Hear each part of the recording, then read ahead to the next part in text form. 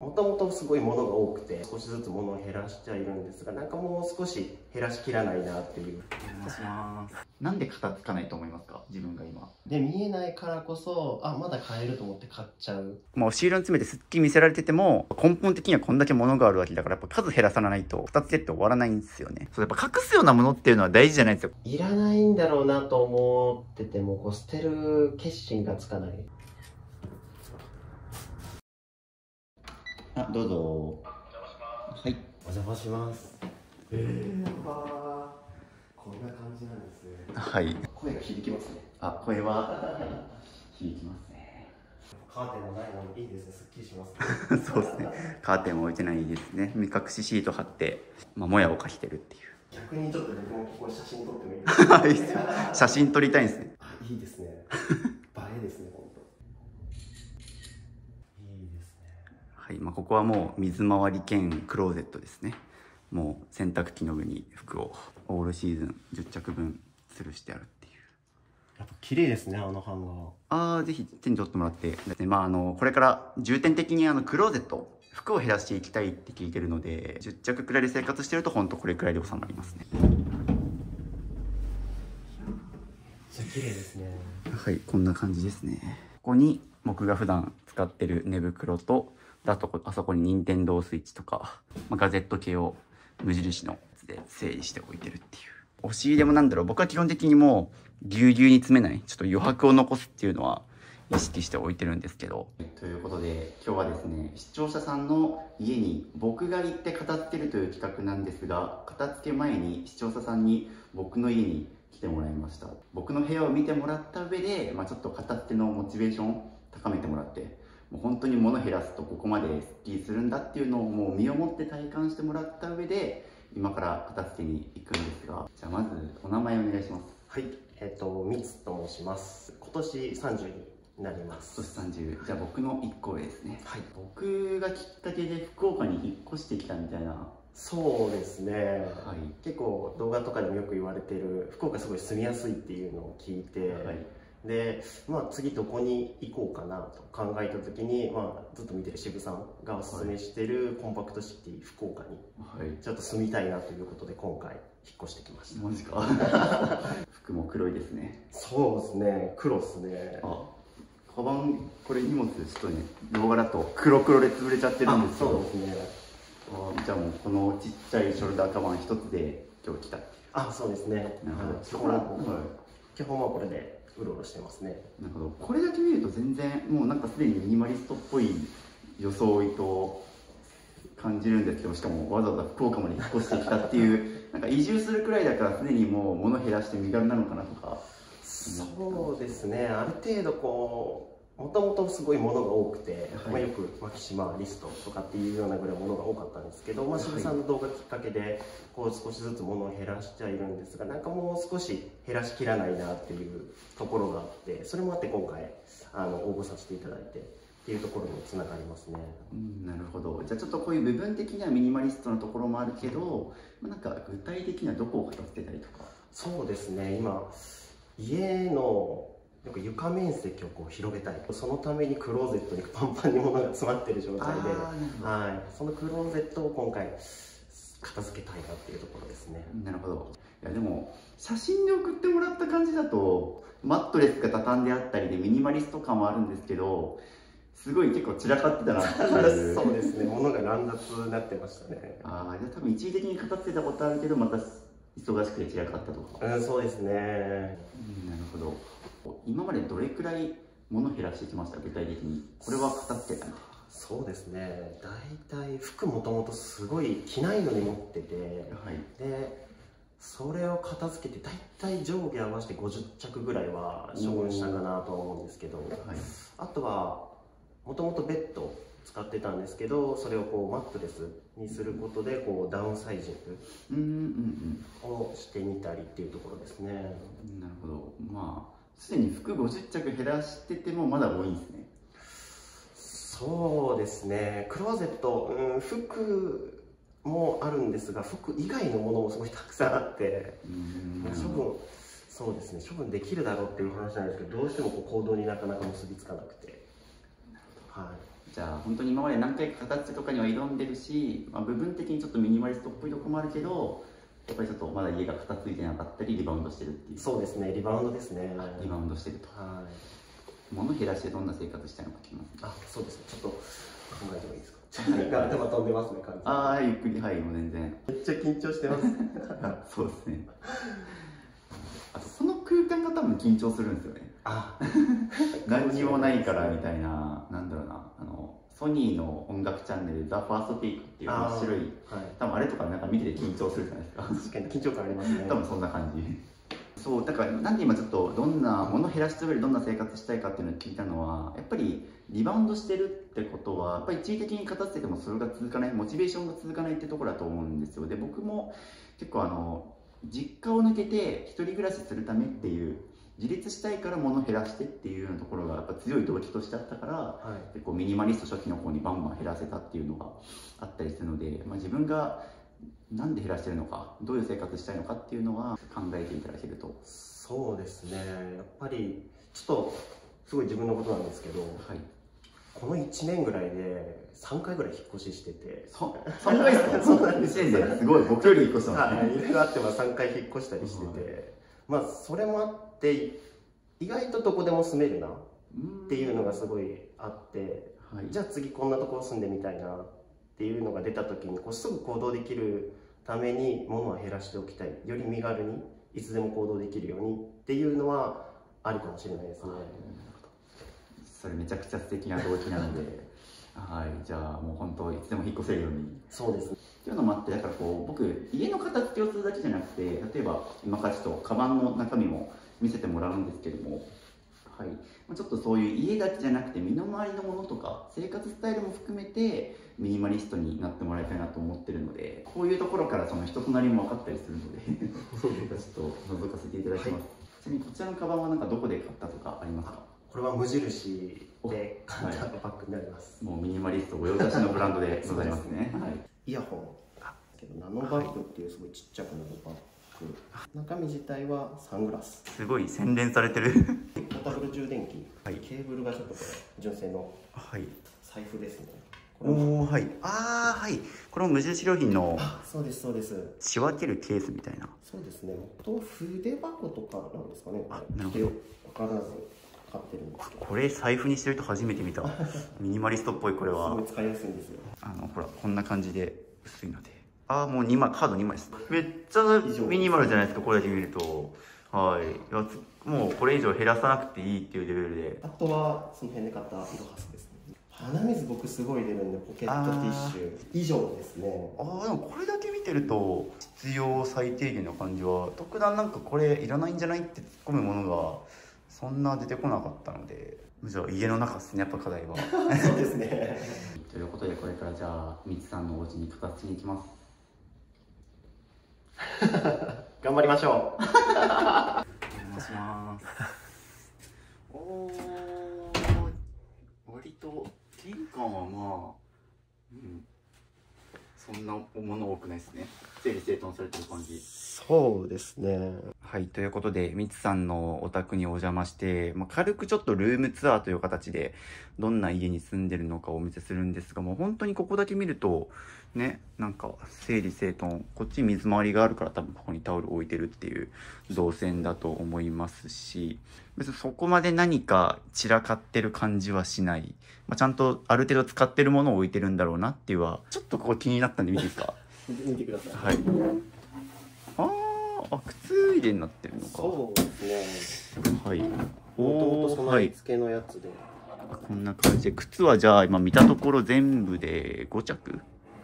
と今履いてるやつで6ですね ?6 足。で、ここをよく見ると、まあ、フレグランスと、まあ、財布と、はいあと小銭小銭ですね帰ってきたらもう財布から全部重たくなるんでなるほど。確小かに、銭を出してっていう感じですね小銭一切入ってないですもんね。そうですねうん、なんかちゃんとミニマリストの動画を見て片付けたのかなっていう形跡がこの辺りからは感じますしでここっすね。ここが我が家と一緒。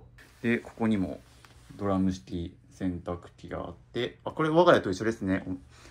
全そうですくね。いいドラム式洗濯機これ最新のでしょ結構。これ結構新しいやつですね。去年かぐらいのやつです、ね、いいやつ持ってますね、まあ、なんか正直言うと年に3回引っ越してるくらいだから割と経済力余力あるのかなっていう感じは 節々から感じてるんですけど。ハンガーが2種類あるのはパンツハンガーと分けてるって感じですか？あバンツハンガーとは、あれですね。パートナーの服が何個かまあ、同棲して、反動してて、まあ、ちょこちょこ遊びに来るんでなるほどなるほど。服かけるようで。まあパートナーの方がたまに来るから服が女性ものがそうでするしてあるっていうはい。感じなんですね。でここも我が家と同じ無印良品のつるつる収納がありますね。うん、まあ、ここにじゃあ下着を全部突っ込んでる。そうですね。下着とかそうですね、うん。ズボンとかも入れたりしてっていう感じです。で、まあ、あとこあとここにあの歌丸クリーナーとか、まあ、これあれですねミニマリスト御用達の万能クリーナはい。ーが置いてあって、まあ、多分あれですよねこのカビハイターとか以外は全部これ1本にまとめてるって感じですもんね。あそうですね。もう床とか風呂とかも基本はね。毎日の掃除はそれを使ってっていう感じですね、なるほどなるほど。ここは確かにちょっと逆に生活感が出てる場所なのかなと思ったんですけどちなみになんか見てもよかったりしますか？あもちろんです。はい。すごいおーまあだからそもそも冷蔵庫のサイズが小さいですもんね。そうですね。まあ自炊はまあほどほどにやってるって感じですね多分。そうですね。材料買ってきて一旦ここに詰めるけどその日のうちに大体全部使い切うんってっていうそうですね。ところですね。あんまりストックしないようにしてるって感じですね。はい。でこっち見るとちょっと開けますね、はい。あーまあまあ。はいはい。なるほどね IH の土鍋がなんかああれあれの箱か。あそうですね。収納する時用ではい。取ってはありますね。ただその上の巨大な寸胴鍋がはい。勢いで買ったんですけど、はい。ほとんど使ってなくて。あじゃあ早速。そうですね。っていう。も ういらないものですね。ああそうなんですね。もう結構自分の中でももある程度そうですね。もうそれは決意がついてる、はいあじゃあもう早速これちょっと減らしましょうか。そうですね。こうこれ多分手放したらだいぶ余白できますよこうこれとかはいあそうですね。ここにフライパンが入ってるんで。まあフライパンと土鍋あったらご飯も炊けてそうですね。うん多分この鍋確かに使わないっすね。用途的にかぶってるから。札幌ラーメン好きなんですか？札幌ラーメンはそれははい。買ってまだ一回も食べてないです、あなるほど。初めて買ったぐらいの勢いです。あ興味本位に買ってってそうですね。感じですね。でここからこっち見るとお部屋ですね。はい、まあここ見ると本当ちょっとミニマリストっぽいもう床なんもなくてでマットレス折りたたんであって、まあ、ちょっと強いて言うならここら辺がいろいろ若干固まってはいるけど、うんまあ、ここはちょっと形成立そうかなと思いますけど。でこっち側になんか自転車が置いてあるから自転車趣味なんですね。あそうですね。買い物とかも全部基本これで済ましてますね。おこおかけて。はい。あ自転車って毎回じゃあここから取り出してって感じですか？あそうですそうです。なんか動線すごい悪いんですけどね。うんなるほど。外に置けないんですね多分、そうですね、まあ、取られるのも怖いってことですかね。取られたり錆びたりするのが嫌なんで。あなるほど。でテーブルもこれアウトドアですよね。あそうですね。これもすごいちっちゃくなる。うん、小さく畳める、まあ、僕もそういうコンパクトに畳めるものを推奨してるからマットレスしかり、うん、なんかマジミニマリストっぽいですけどまあさっきもおっしゃってもらった通り押し入れ？でもあそこに詰まってるんですよね。そうですね。こはい。こにたくさん物が詰まってて、なるほど。ここがミニマリストじゃないとじゃあ開けてもらいましょうか。いいですか？恥ずかしい。あーはいはいはいはい。しかも なんかこの押し入れのとこにこれが突っかかってる感じもなんかちょっと動線がちゃんと開かないですもんね。はうんまあなんかこの辺りも踏まえてちょっと片付けたいですけどこれは確かにこんな感じでぎゅうぎゅうにいろいろ詰まってますね。まあだからここに詰めてるから、まあちょっとこの辺りはパッと見すっきりしてるけど、はいっていう感じで今からここを片付けていくんですけど、ちょっと片付ける前に聞きたいことがあって、い、はい、なんで片付かないと思いますか？自分が今。そうですねまあ物減らしたいっていうのはずっとあるんですけどはい。でこうリビングとかはこう物を置かないようにしてる分、うん。こう物置とかにぎゅうぎゅうに物を詰めて、うんで見えないからこそあまだ買えると思って買っちゃう。なんかそのそれがずっとこう繰り返しててもうなんか押し入れがすごいことになっちゃってる。なんかそんな状態ですね、まあ、やっぱり普段の生活圏内はまあやっぱりすっきりしてていいと思うんですけどやっぱりちょっとねおこう押し入れに詰めちゃえばいいやっていう精神があるから、まあ、結果こうなってっても多分自分が一番分かってると思うんですけどまあ、押し入れに詰める癖があるっていうのはそうなんだけどやっぱりちょっと割と服とかが多いですね。僕もそうですね。なんかこう旅行とか行った時にご当地のなんか外国人が買うような T シャツはい。を買って帰っちゃうんですよね。ああ 結構そう買い物好きなんですね。あそうですね。もともと買い物自体はすごい好きですね。まあいいんですけどそういうのを買っても別にミニマリストだからっつって別に買い物我慢とかする必要はないと思うけどやっぱりよく言ってるそのワンインワンアウトって形でやっぱり何か買ったら手放さないといけないし多分それができてないからどんどん買って買ってっていうのが続いてで手放さずにここに全部押し込めちゃってるから、まあ、結果こういうぎゅうぎゅう、まあ、さっきもちょっと僕も我が家の押し入れ見せましたけど、うん。やっぱちょっとあれくらい余白作りたいじゃないですか。そうですねあれぐらいの洋服欲しいですね。なんかもう一旦全部出しましょう荷物あそうします荷物一旦もう押し入れ全部出します。はいっていう感じで押し入れから全て取り出して、まあ、この量。パッと見さっきはすごいミニマリストっぽい部屋でしたけどもやっぱり押し入れに詰めてるからああなってただけでやっぱり根本的にはこんだけ物の量があるっていう。ね。そうですね。やっぱりこう見るとめちゃくちゃ物多いですよね。そうなんですよ。だからやっぱ数減らさないと片付けって終わらないんですよね。でちょっと服減らしていくんですけど目標は玄関にあったあの洗濯機上のクローゼットに全部吊るせるようにしましょう。なんかここに服がある状態が良くないと思ってて。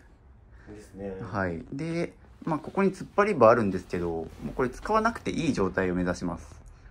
はい。はい。外しちゃいましょうかこれももそうですね。うはい、まあ、今クローゼットが今2箇所あるみたいな感じになっちゃってるんで。で数を減らしてあそこ1箇所にまとめちゃいましょう全部。もうこれは明らかに仕事で使って必要なものでネクタイも多分もう1本だけですよね。そうですねもうこれだけなんで。これも踏まえてもう早速じゃああっちにそうなんですよ。こっちがねだいぶ余白あるからもうここに全部吊るすと。ちなみにこれかけてる理由あります？あビニールですか？はいここれ入れりがつかないようにぐらいしかないですね。でしょ、はい。でそれって多分あの押し入れにぎゅうぎゅうにしてるからほこりかぶりそうってなっちゃってるだけで。ね。これもうここに吊るすって決めるんだったらもう外しちゃっていいですこれ。もう取っちゃいましょはい。なんかこのビニールやるの気持ち悪くないですか？ういやわかります。はいじゃあはいじゃあ。もうこれも取っちゃいましょうか。はい、タグも取っちゃいましょう。おー、いや、いいっすね。ちゃんとしっかりクリーニングされてある。これなんか本当に自分のお気に入りの服だけが全部ここに吊るしてある、もうセレクトショップみたいなはい感じにしましょう。はい、いや、ほら、やっぱ気持ちいい。やっぱそうビニールガサガサより気持ちいいですねでしょ？服も生き生きするというか、まあ、つ、あのー通気性が良くなるんで、服も長持ちしやすくなりますし、なので今日の課題は服を減らして全部ここに吊るす。じゃあ、こんな感じで、ちょっと、ましょう。で、一番いいのは、こっからなんかこう、いらないものを探すんじゃなくて、自分が本当に必要なものだけを残すっていう作業。だからミニマリスト的な考えで言うと捨てるものを選ぶんじゃなくて残したいものを選ぶっていう作業を最初にやってほしくて。やっぱね片付けるのが好きな人ってこれいらないあれいらないみたいななんか捨てることが好き。捨てることの快楽に溺れちゃってどれいらないかなっていういらないものを探すんですけど逆で何を残したいかだけ考える。残すものだけ決まっちゃってあとはもう全部捨てるぐらいな思考でいいんですよね。で言うと服は多分ここにもう全部詰まってるらしい。下はパートナーの私服になってて、うん。上が僕のパジャマとかなんはい。かスポーツの時とかに使えるかなみたいなやつが入ってますね。なるほど。で今回の片付けなんですけどあのこうミニマリストあるあるなのが家族とか同性のものが捨てられませんっていう。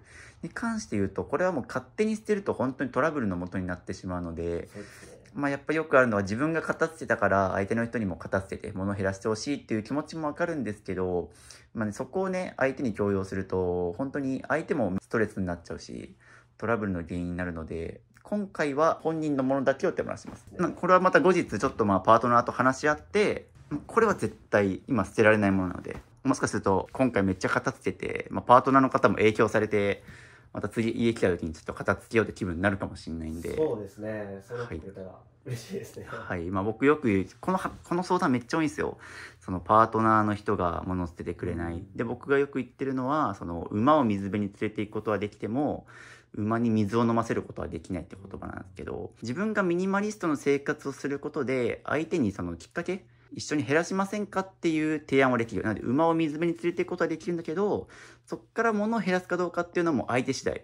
まあ運なんですよ。なんか片付け余裕があったりなかったりとか向こうのタイミングにもよったりするんで今回なので光弘さんがちゃんと片付けてまた今度同性の方が遊びに来た時にもしかすると影響されてねあなんか物減らしてすっきりしてるから私も片付けようかなっていう可能性は出てくるんで。はい。その時を待ちましょう。はい。じゃあ早速ちょっと全部取り出しましょうか。おー結構奥長いんですね。なるほど。そうですね結構長いです。でこれ全部出しましょう一旦。そうですね。はい。エアリズムの山ですね。うわーエアリズムとかって無限に買いたくなっちゃいますよね。そうなんですよ。しわくちゃになっちゃってますね。えっと、服を手放す時にやってほしいのが、押し入れとか、衣装ケースに突っ込んでるもの全部出して見える化してほしいですね。でなんでかっていうと、ポンポンポンポン単品で見て片付けるってよりも、あのトータルコーディネートって言葉があるように、服って着回しで考えるものなので、自分がどんな服持ってて、これと着回せそうだから残そうとか、逆に組み合わせ悪いから捨てようみたいな。全体量を見ながら片付けた方が服に関しては失敗が少ないので、全部見えるようにしてもらったって感じですね。で、こっから、じゃあ何を基準に減らすかなんですけど、もうパッと見た時に、あ、これいらないかもって迷ったものですね。これもういらねえかもなって迷いがあるもの。あ、これ。これはまずはいい。らないはい。ちなみになんでいらないと思いました？そこれはなんか自由で適当に買った服だったんですけど、う。はい。思ったより肌着を着ないと透けちゃってはい。あーじゃあもっとちょっと厚手のもの、1枚で厚手のものを買えばよかったなっていう。そうですねまあ、そういう基準がだから今なんでそれ聞いたかっていうと、まあ、これいらないっつってそこにポンって捨てたんですけどあのちゃんと手放す時に理由を考えてほしくて今みたいに自分の中でその薄着のものだと捨てるから嫌だっていうのが自分の価値基準じゃないですか。はいだから物を減らすっていう過程で自己理解を深めてほしいんですよね。自分の価値基準を見つけるために物を減らしてるっていうことで、なので、いるいらないでポンポン減らさないで、ちゃんと減らすときにはなんで捨てることになったのかを考えてほしいですね。わかりましたでも今回に関してはちょっともうゴミ袋で捨てるっていう作業をします。まあ売ったりとかも当然一部するものあると思うんですけど、やっぱあの捨てられない人の三大言い訳がやっぱり売れるから譲れるからもったいないからですね。いらないものは分別しても結局捨てずに押し入れに詰めちゃうってことになりがちなので、僕の今回の片付けではもうゴミ袋に詰めるところまでやってもらいます。で、例えば家の近くにもリサイクルショップがすぐあるとか、はい片付け当日にすぐ持っていけるんだったら、まあ、売ったりとかしてもいいですけど、まあ、ちょっと今回そういう感じではないので、情熱にも賞味期限があるってことをよく言ってるんですけど、めっちゃ片付けモード入ってるじゃないですか。はい多分今もう実際こんなバーって取り出して、めちゃくちゃ片付けたい欲高まってると思うんですけど、もうこのタイミングで一気に終わらせてほしいんですよね。やっぱ片付かない人であるあるなのが長期でダラダラでやりがちっていう。まあ、そういう意味でも、もう今日中に手放すとこまで終わらせてしまうっていう意味でも、ちょっとゴミ袋に今日は進めてもらおうと思います。エアリズム集団ですね、であとそれですかね。なんかそれが今結構やばいみたいな。急遽出てきたんですけど。ね。フェスつながりなんですけど、はい。これラバーバンドもついつい行ったら買っちゃってたんですよね。はい。おおちなみに好きなアーティストさんは？アーティスト好きなアーティストはマイナーなんですけど、はい。シムっていうああはい僕あのこの前夏フェス行った時にシムさんいましたよ。あ本当ですか、はい。あの「進撃の巨人」とか最近あ歌ったりしてて、い、ややばいですよね この量は。うんしかもこういうのってぶっちゃけまた次行ったら買って増えるじゃないですか。そうなんですよ。まあぶっちゃけ買った時がピークみたいなのがあって、まあ、それはそれでいいと思うんですけど、まあ、要は思い出じゃないですかこういうのって。ああそうですね。まあそれこそアーティストをねこう支えるっていう意味でも買ってると思うしうん。好きなものだけ例えば3本決めて残すとかそうですね。まあつけても1個2個なんで、はい。そうです。逆にこれ1個だけにしましょうか。すごいせ思い切りましたね。はい。なるほど。あとはもうさよならを。おおしていきましょう。わかります。僕もアーティストのライブとか行くの好きだけどなんか自分の中で熱量が収まってきた時は結構捨ててますねもう。当然もうめちゃくちゃ今好きでもう今はい。めっちゃ応援そうですね。楽しい時は残しといてもいいと思うんですけどやっぱこういうのってどっかのタイミングをついてきたりとかあると思うんでその時が捨てる時かなっていうのは思ってますね。そうですね。もう必要十分残したいものだけ厳選したとかですかね。これがマックスな気がしてますね。おおー、ね、音楽系のシャツ4着と、まあ、その下も4着と。まあ、半分以上減りましたね。そうですねだいぶ減りましたねうん。ちょっとクローゼット行きましょうか。押し入れにぎゅうぎゅうにされてたものが、ここにちゃんと吊るされてるのいいですね。これとかめっちゃしわくちゃになっちゃってるじゃないですか。そうそうそう。でも、まあでもお気に入りたいわけじゃないですか。そうこれを気に入りフジファブリックのやつねあですですフジファブリックの、これって多分絶対ここにかけたらこうはなってないんで、お気に入りの服だからこそ吊るしてあげたいですね。そう、だから僕基本的に服って、本当に大事にしたい服って吊るすと思うんですよ、全部。シワになっちゃうから、衣装ケースとかに突っ込むと。埃かぶったりとかね。うんワイルドバンチ。あですです本当にめっちゃフェスで全部行ってるんですね。フェスそうですね行けるようになったんではい。まあ僕も今年じ28歳にして初めて夏フェス行ったって感じだったんで。あそうなんですねはい。もう僕ずっと日傘さして、あの、みんながこうやって、おい、おいってやってる中、あの、芝生で日傘さして、ぼーっと見てるみたいですね。えどっちのタイプですか？もう僕は前行ってあの人の上をこう転がってるあマジか。全然そんな風に言えないよ。めっちゃか過激なタイプです過ね。激タイプですね あマジで好きなんですね、じゃあそんくらい。いえーすごい好きなんですよや、でもそういうものってやっぱ通じたくないですか？あマジでねやっ。ぱ見ときたいですね見ときたいでしょ。せっかく買ったものなんで、ね、いつでも見える位置に。そう、やっぱ隠すようなものっていうのは大事じゃないですよ。ただ、本当に大事なものはやっぱり見えるところに置いときたいじゃないですか。そうですねいいっすね。おー、ここに全部まとまった。服減らせば全部こう吊るせるってことですね。はいですねよかった。自分がちゃんと必要な服の数が把握できるようになると、まあ、ハンガーも過不足なく、まあさっきなんか僕が使ってたハンガー欲しいみたいな言ってたと思うんですけど。そうですねそうそう、だから、ある程度もう自分の服のハンガーの数が分かれば、それ買いた、買って、それ統一しちゃってもいいし、そうですねね。今後ちょっとそういうのもやっていきましょう、はいはい。はい、っていう感じで今、服全部ハンガーに吊るしてきたんですけど、もうこれ1個いらないですね。そうですね。もうこれ処分できますね。処分できます。はい。これが丸々1個空きました。はい。書類いきますかね。そうですね。おー無印良品のものに入れて、そうですね。これは卒業アルバムってやつですね。あそうですね。卒業アルバムですね。これいらないっすね。これなんすか？落としぶか落としぶああフライパンの？そうなんですよ。ただそう書類のとこにだけどなんでこれ出るの？処分、はい。処分に困ってるしかも。全然サイズ違うの買っちゃって。じゃあもったいないですけどこれは明らかに開封もせず残してるんじゃないですそうですね。はい。まあマジでもったいないですね。マジでもったいないですねこれ、はい。反省してくださいね。本当に。まあこれももういらん。どんぐらい読み返してないですか？マジでもう1年は少なくとも見てないですね。完全に。今後も読む予定は？うん。これはこう思い出ゾーンですね。思い出ゾーンですねじゃあその点で言うとまず捨てる捨てないで言うと、えっと、思い出のものは後回しでいいです一あ旦思い出のものは一回捨てると取り返しつかないので、うん。マジで自分がもう100%いらねえと思い出になったら捨てたらいいしただ一旦最初にちょっとさっきみたいな書類さっきの専門書って別にぶっちゃけ買い戻し聞くじゃないですか、そうですね。まあ、最悪今後なんかあってもまた買い戻せるって意味ではもうさっきみたいに捨てちゃって OK なんですけど、はい。一旦ちょっと思い出のものは仕分けてもらって買い戻しができるもの。書類が山のようにあるんで。そうですね。書類で言うとさっき引っ越し3回されてたじゃないですか、はい。で多分残ってるのは過去の家の書類とかですよね。過去の家の書類とかも残ってるはずです。でもそれ使わないんですよ。使わないですねそうわかりますす。僕、まあ、ちょあの今住んでる家のものは残していいです。はい。ただ過去2つのものはいらない。でただまあ情報当時の情報がちょっと今後何か必要とかなりそうだったら写真だけ撮っておきましょああそうですね。う、はい、今の今住んでる家の契約情報がそうですね。それは残してあの取扱説明書です、ね、しかもコールマでしょ？ああそうですそうです。結構有名ブランドのやつなんでそれあの最悪ホームページ行ったら説明書ダウンロードできるんですよ。そうですね。そう結構説明書捨てら捨てられないって人多いんですけど説明書って読み返せないじゃないですかそんなめったに。ではい。読み返したいと思ったらホームページ行ったらダウンロードできるので。持ってない冷蔵庫が。あーなるほど。過去のものが。そうですね。あなので基本的にはこれは絶対保証書として取っときたいみたいなもの以外はもう捨てちゃって大丈夫です。最悪ラウンドできるし。そうですよねこれも保証書大体保証書一体化してます。最近この辺を買い足したものなんですよ。うん今最近買ったもののそうですね。保証書がついてるとか残して。これもうちにない冷蔵庫の保証書です。保証書というか説明書ですね。ですね。はい。結構ありますねそういうのが。メーカー保証切れてます。切れてますね。はいお願いしましょう。同じクリアファイルが2種類あるんですね。そうですね。これ好きなんですね柄あるんではい。嫌いなんですよああじゃあ嫌いなものは自分の美観的にも合ってないと思うんで。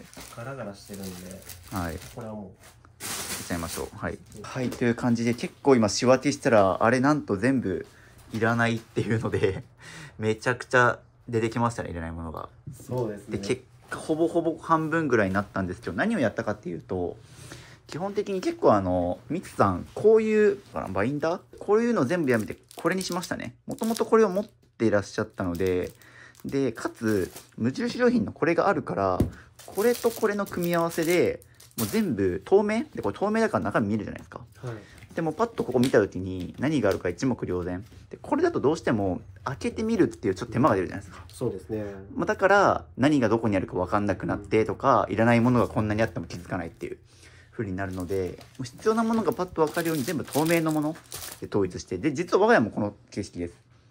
もう無印のクリアファイルにこれで全部やってるので、まあ、今後はなのでこれで全部管理するっていう感じで。で書類もここに収まる量でっていういやだいぶすっきりしましたね。はで気持ちよくないですかこれ。ちょいめちゃくちゃ気持ちいいですね。こんだけスッキリすると。っと今俺言わせちゃったみたいになって なったけどうおー結構いったなまさか服と同じぐらい書類もいらないものありましたね。そうですね。ほんまに同じぐらいありますね。でまあこれでまあ結構十分減ったんですけどちょっとまあここは今から思い出のゾーンですね。そうですね。でまあちょっと捨てるか迷っまあちょっと迷ってるみたいなゾーンですかね。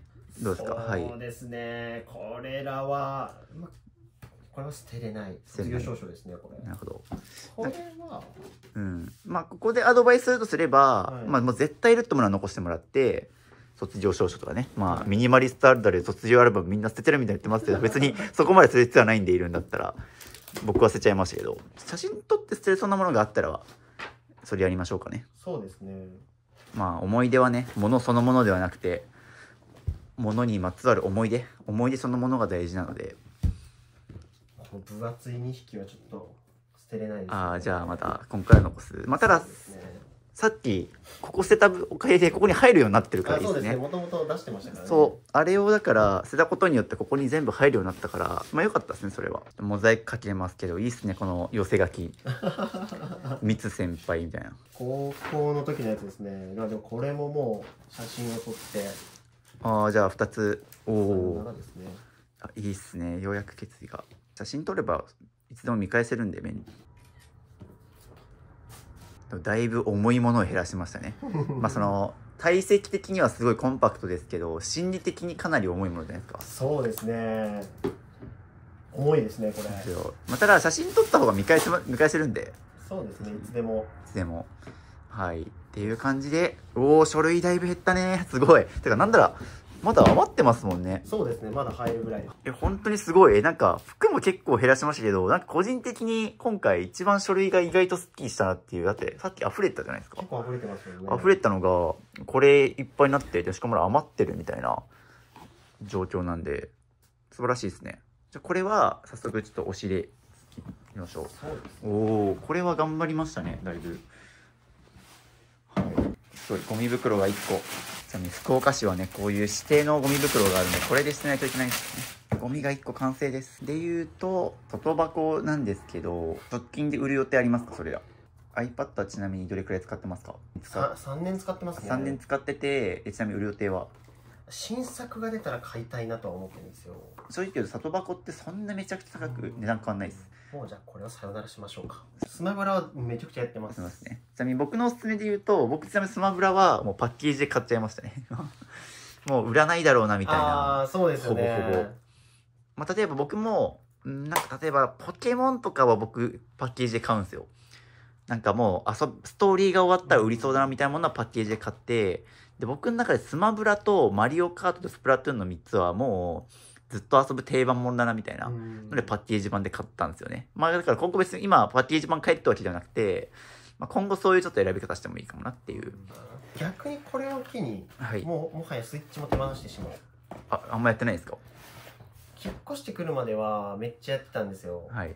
こっち来てからやらなくなっちゃってどれくらいやってないですかちなみに。まあ、こっち来てからなんでもう2ヶ月ですね綺麗に今後も遊ぶ予定は？未知数ですねいや、売りたいっていう選択肢ができるのがまあ意外だったんですよ、ちょっと。いやで正直悩んでいたんですよ1年ぐらい1年あ半年ぐらいもうなんか手放してもいいかもなとあ。あじゃあ行きましょう。僕とか絶対、もう僕結構遊ぶ。僕は絶対手もらって遊んだないです、逆に言うと僕はね。あでもそ僕はそれくらい遊んでるんですよ。もう友達と。なんなら一昨日もやったしみたいな。言うと、売り行きますかこれじゃあ。これも売りっちゃいますか？結構な金額になりますよ、これ。そうですよね。なんかもうそこの程度だったらなんか、うん、それこそ多分趣味結構アウトドアとか好きな感じするし、最悪また欲しくなったら、そうなんですよ。売った買えばいいから。そうです。スイッチ今しかもね、中古で買ったら2万円くらいで買えるんですよ。定価3万ですけど。なんでまた最悪またやりてえってなったら買い戻した金額で売った金額でまた買えばいいんで。そうですよね。まさかスイッチ売るっていう風になるとはなかったですけど。ちちなみにどこに置いてあるんですか？あこれは、はいスイッチはここにテレビの裏に隠してあこれテレビここにあったんだ。あそうなんですよ。テレビももちろんここにあるんで見てないんですけど。なるほど。テレビ手放したいとか思ったことあります？いやもちろんです。なるほど。ちょっと後で要検討ということで。一回売ろうと思って全初期化したんですよ。あそうなんだ。そういう感じで売るために初期化してますね初期化が終わったのでこれをもう包んでこのままテレビいけたら一番面白いですね。いやそうですね。テレビマジで見ないんで、うん。サブスクで事足りますし。まあ、なので結果任天堂スイッチは売りに行くので他は外箱で見せたっていう感じ。はい。おおだいぶすっきりしましたね。ここから見た時にじゃあどこから手をつけるかって考えたんですけど収納ですね。もうミニマリストの鉄則収納を減らすっていう、まあ、さっきも服を手放したことであの衣装ケース丸々手放したじゃないですか。はい。っていう感じでやっぱり収納があるからそこにどんどん詰めちゃうのでこの無印良品のね、まあ、このポリプロピレンか。ポリプロピレンのこれすごいねいいんですけどはい。わかります。おんななんだ同じ収納で揃えるの気持ちいいですよね。気持ちいいですね。で結局買い揃えてでそこに詰めちゃうっていう風になっちゃってると思うんでこの中手放しましょう。これ何が入ってるんですか？これはなんか前なんかいろいの仕事で使ってたかなんかザザンスにゴンゴゴンンゴンと。現金と使ってないカード。現金が結構あります。今1万円もポロッと出て ポロッと1万円できましたけど。そうですね。あとはなんかこの間フィリピン行った時のフはい。やっぱあれですか？ィリピンのカードですね。割とこういう雑なとこから1万出てくるっていうあたり割とお金持ちですか？金 はマジでないです。パスポートここにあるんだえ？これちょっと管理雑すぎませんちょっとさすがに。パスですかねポートは僕結構はい。なんかもっと大事なそれこそ玄関のなんかさっきしゅなんかもっと分かりやすいとこに。あ本当ですか？はい。だってこれこれパスポートってどこにあったっけってなりません？これ。覚えてました？いやこれは覚えてます。小物はここにぶち込んでるんで。ああそういう。何か探す時はここを漁れば出てくるぐらいけどまあなるほどまあけどやっぱりこれ把握多分全部は把握できてないと思うんで。そうですね。あこれとか探してたんですよね。ものが出てきね、探してたもの。えこれな何だなんですかこれ。これはリュックサックのレインカバー。あーなんかどこに行ったかなーっていうのを探してた。そうですあったんですね。汚いメガネが出てきましたね。うんまあ、汚いというかここにいたから汚くなったっていうのは正しいかなと思います。そうですね。はい。おおしかもまだ外箱できたわ。外箱 iPhone13 ミニかなこれは。来ましたけどこれいらないけどどうすればいいかわからないって感じですか？そうですね。うんまあ、ちょっと調べますけど僕だ僕はもう普通にゴミ袋するタイプですね。僕一切信じないタイプなんで僕はね僕は本当にその信じないからもう別に物は物だし捨てるわって感じなんですよ。もうお守りだろうとそういう神聖的な神様的なものが宿ってると言われてるものだと僕は捨てちゃいますけどポンポン。僕は気にしないんでね本当にそういうの。僕もちなみに無宗教なんで にさよならしましょう。い、はい、ちなみに正しい捨て方はちょっと後で調べよそうですうなんか僕は全く興味ないけどそのこれ懐かしいそのスマホ HTC バタフライとかじゃないですかそれ。あそうですそうです。知ってますあれでしょ乃木坂が CM してたやつですよね。あ乃木坂っすか？確か CM が。HTC 信者だったんで。僕初めて買ったアンドロイドスマホが HTC ですもん。あ本当ですか？夏。あこれも HTC なんだうわ懐かしい。赤が好きだったんだ。しかも合格祈願貼ってるのおもろい。いらないとかスマホ結構残しがちですね。スマホ残しがちですね。あとちょっとまあ扱いが雑だなっていうのは正直なところ思いますね。酔っ払って落としちゃうんですよね。なるほど。まあそこはちゃんとケースを。まあ小物入れというかゴミ入れになっちゃってますね半分まあぐらい、本当にそうですね。うん。しかも銀行系の通帳がそこに大量に今の収納からこの通帳の山ができたんですよもうこれってまあ仮に今後必要になるとしてもやっぱ書類ケースもあるんじゃないですか。っていうのがあるんでね。まあ、僕の感想としてはなんか物があるべき場所に置いてないなっていう感想ですね。多分それももうとりあえず収納とか押し入れにとりあえず突っ込めみたいな癖が多分あるんですよね。そうですね。そうあん中とかにこの中で突っ込めみたいな。それやってるとやっぱりそもそも物が減らない増え増えがちになるしあの何がどこにあるかっていうのもうん。だから物の住所ができなくなっちゃうんですよね。あと物減らし終えるとこれはこここれはここっていうのは絶対決まるはずなんでそう使うものには絶対住所があるのでっていう意味でこれちなみに必要ですね。これはいるやつです。後でちょっと書類後で書類のとこに。そうですね。はい。これもルービックキューブ。しそうですね。趣味なんですか？しかも4マスってめっちゃ簡単じゃないです 2×2 なんですけど、はい。全然できないですよ。かなるほど。今これ練習中の趣味の一個ですね。なるほど。頑張ってください。ありがとうございますありがち。なんかもらってとりあえず取ってみたいね。あるあるですねこれいらないですね。いらないです。ねこの中に突っ込んでるものって多分ほぼ使ってないものなんですよ。そうですね。だってそそもそも使用頻度が少ないから奥にぶち込んでるわけで。確かにだからまあまあ、まあ、じ実際もうほとんど入れないものですけど、はい。まあ、一部なんかたまに1万円札とか 銀行の大事なものが入ったりするからなんかゴミも入ってるし大事なものも入ってるしみたいな感じなんでちょっと危ないですねこれは。本当にもうミニマリストの人がよく言う収納から減らせっていうのはそういうことなんですよね。こいつがもう諸悪の根源です。こいつがあることによってどんどん後回しにしたり無駄に買っちゃったりするんで収納から減らすです。これはうおー芯いっぱいありますね。芯めっちゃありますね。僕ボールペンめっちゃ使う仕事をもともとしてたんで、はい今は。今は今は何もしてないのでボールペンはいらないですね。必要な分少なからずちょっとこれオーバーストックですね。過剰な気がするんで。買いに行くのが面倒で。あーはい。残していこうと思います僕もジェットストリーム使ってるんでもう家にあるのこれだけですね。大丈夫ですか？食えますこれ。べっこう飴みたいな。そうですね。べっこ飴ですね。だいぶ色やばいですよこれ。もう食えんすね。食えんですね。捨てましょうか。危ない。捨てましょう。はい。危ないですね。危ないですね。はいという感じでちょっとこの収納の中見てもらってでめちゃくちゃいらないものがこれ全部出てきてでこれに関してはもう空になったんで捨てちゃえるっていうので。じゃあちょっとゴミ袋に詰めていただきましょうか。これはいるやつですね。それはいいやつです。うんでも半分ぐらい減りましたね。そうですね。この辺もったいない気がしますがこれを反省して。反省してください。はは。い。これはもう必要なものって分かったのでね。ちょっとこっちにやりましょうか。おでももう本当半分ぐらいで済みそうだな。これ何に使うやつですか？これはあの整い椅子ですね。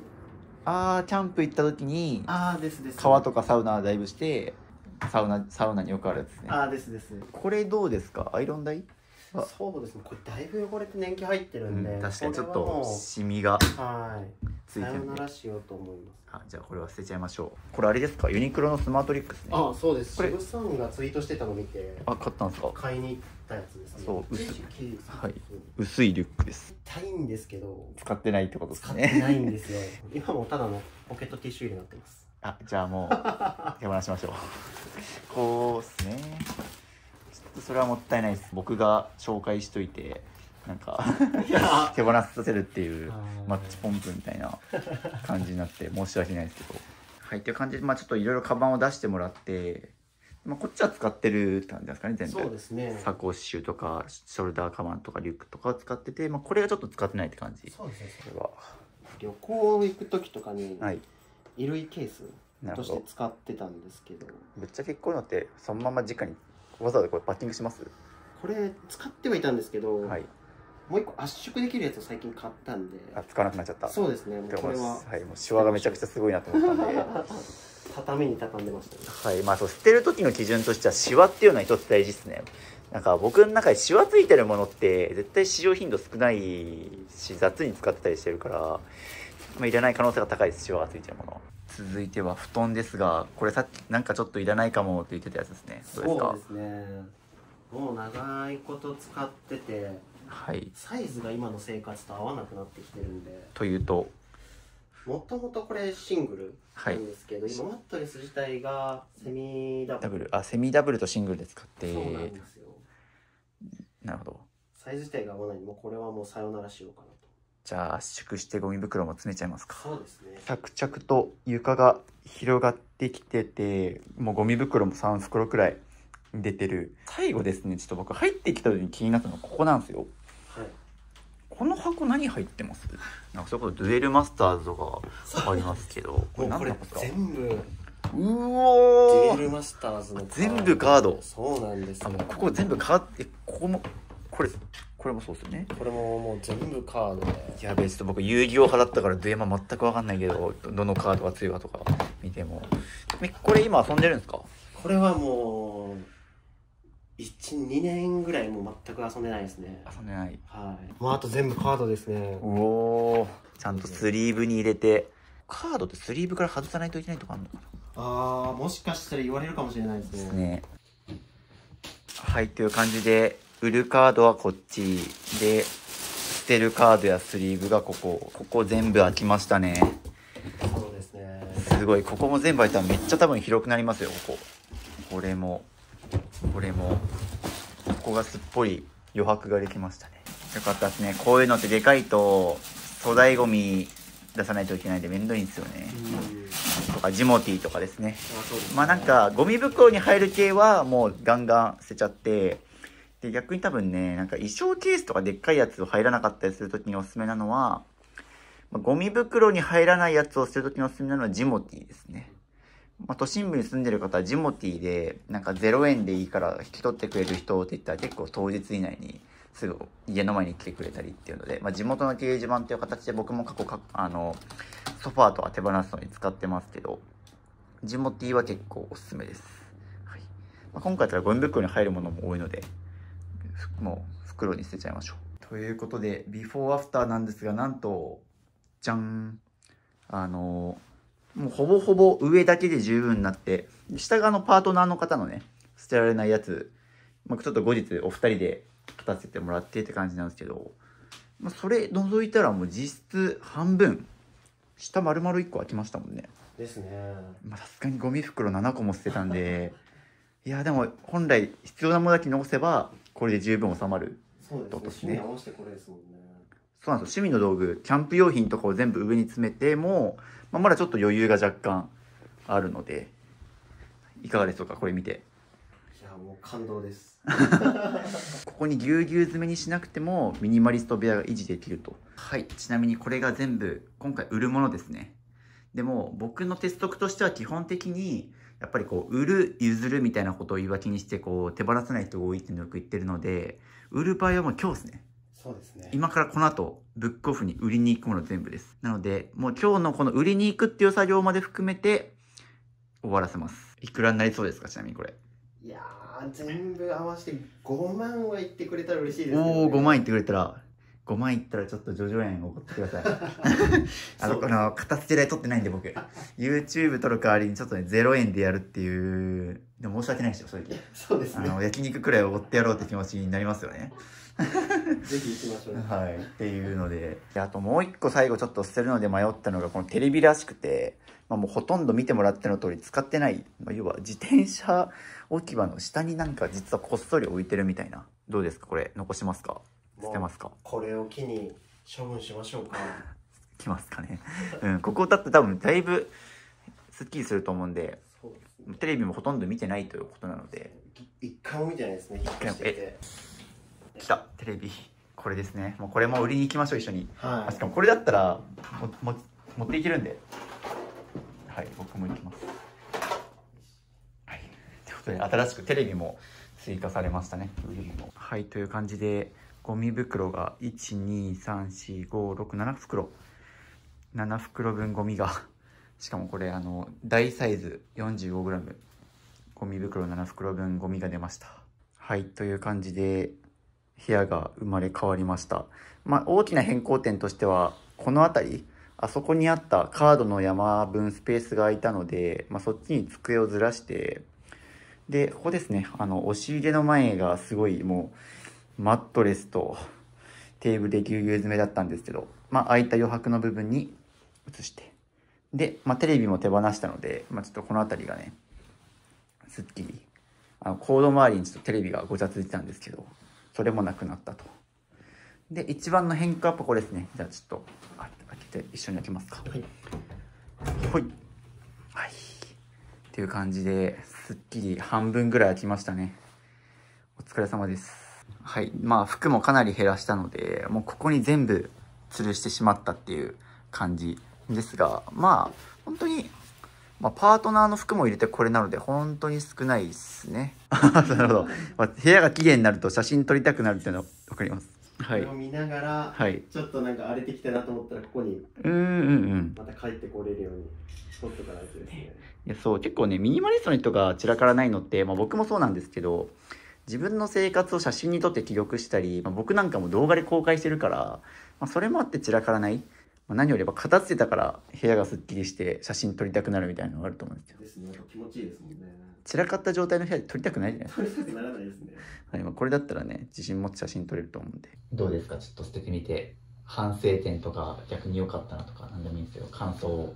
今までこういらないんだろうなと思っててもこう捨てる決心がつかないっていうものがもうほん今日捨ててみてなんかほとんどだったんでその点すごいあ後押しをいただけたんですごい良かったですね。あ捨てていいんだとこう思えるような、そう多分みんななんだかんだでこれいらないんだろうなっていうのが何か頭にある中であと最後手放す勇気ですよね。そうですね。まあ今回みたいに僕結構だからもう土日のまとまった時間であるとかそれこそ年末年始みんなが家族で家に集まってる時間とかでもう片付けする時間を短期集中で作って一気に捨てましょうって言ってるんですけど1個捨て始めるとどんどん捨てれるようになるんですよ。ねそうですね。